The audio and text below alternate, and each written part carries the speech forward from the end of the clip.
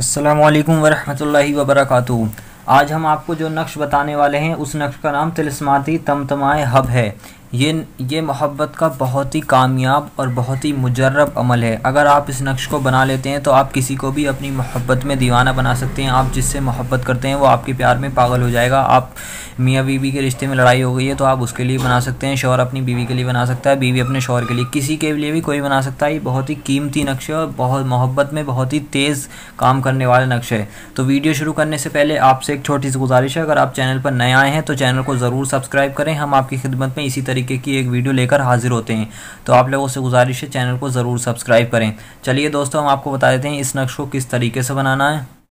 ये मोहब्बत का बहुत ही पावरफुल बहुत ही असरदार और नायाब नक्श है। आप इस नक्श को जायज़ मकसद के लिए इस्तेमाल करें, किसी नाजायज़ मकसद के लिए इस्तेमाल ना करें। अगर आप किसी से मोहब्बत करते हैं, सच्ची मोहब्बत, आप उससे शादी करना चाहते हैं तो आप उसके लिए इस नक्श को बना सकते हैं।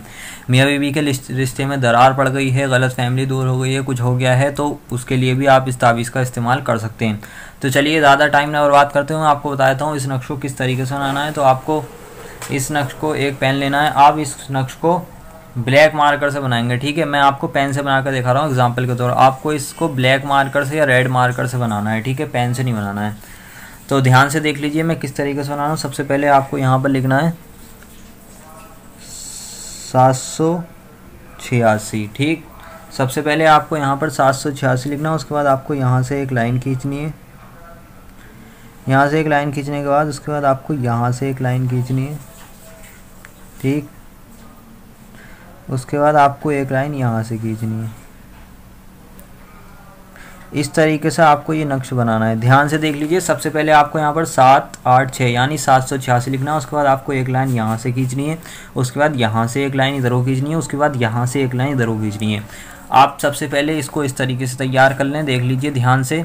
उसके बाद आपको यहाँ पर लिखना है, बा। ठीक? ब लिखने के बाद उसके बाद यहाँ पर आपको लिखना है जीम। इस तरीके से आपको लिखना है। सबसे पहले आपको सात सौ छियासी लिखना है, उसके बाद एक लाइन यहाँ से खींचनी है, उसके बाद एक लाइन यहाँ से खींचनी है, उसके बाद एक लाइन यहाँ से खींचनी है। उसके बाद आपको यहाँ पर बाल लिखना है और उस यहाँ पर जीम लिखना है। ध्यान से देख लीजिए, अगर आप इस नक्श को बना सकते हैं तो अच्छी बात है। अगर आप बाई चांस इस नक्श को नहीं बना सकते हैं तो आप इसका स्क्रीनशॉट लेकर और इसको निकलवा भी सकते हैं। इसका प्रिंट भी निकलवा सकते हैं। किसी की फ़ोटो स्टेट की दुकान पर जाकर इसका प्रिंट निकलवा लें तब भी ये काम कर जाएगा।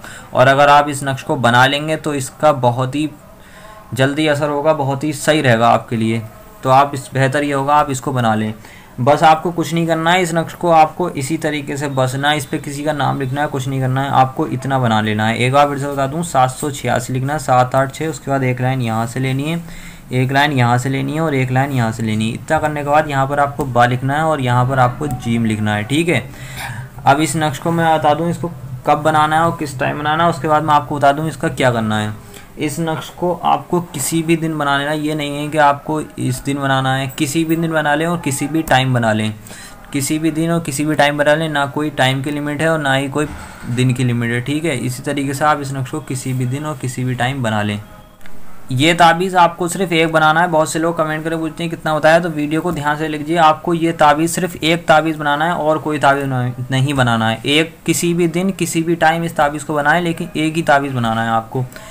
इतना इसको बनाने के बाद आपको इसको फोल्ड कर लेना है। इसको इस तरीके से जो है, इसको इतना निकाल लेंगे।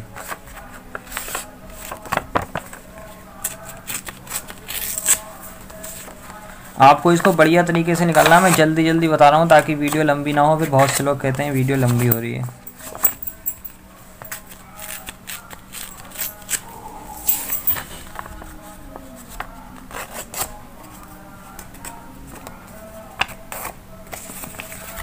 जितना छोटा हो सके उतना छोटा आप इस ताबीज़ को बनाएँ। इससे छोटा भी ना होना ये देखिए, इस तरीके से आपको इस ताबीज़ को निकाल लेना है। उसके बाद इस ताबीज़ को आपको इस तरीके से फोल्ड करना है।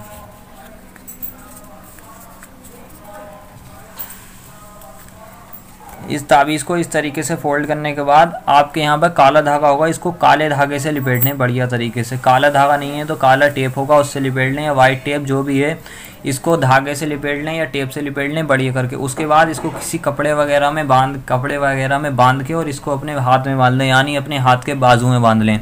बस आपको कुछ नहीं करना है। इसको इस तरीके बना के और इसको निकाल के फोल्ड करने के बाद, इसको काले धागे में लिपेटने के बाद, किसी कपड़े में बांधने के बाद, इसको अपने हाथ के बाजू में बाँध लेना है। बस आपको एक ही ताबीज़ बनाना है और कुछ नहीं करना है। मैं आपको फिर से खोल के दिखा देता हूँ। यही ताबीज़ बनाना है। ध्यान से देख लीजिए आप, ठीक है?